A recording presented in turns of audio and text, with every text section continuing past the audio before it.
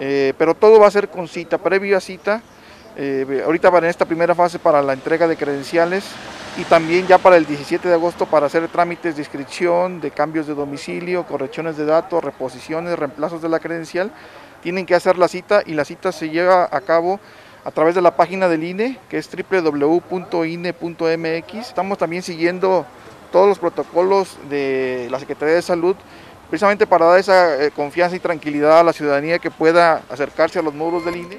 Pues está muy bien, más que nada ahorita por toda la, contingencia que hay ahorita. Está bien todo lo que están haciendo. Nada más que aunque vamos a tardar un poquito más para las credenciales. Y las ocupamos de emergencia,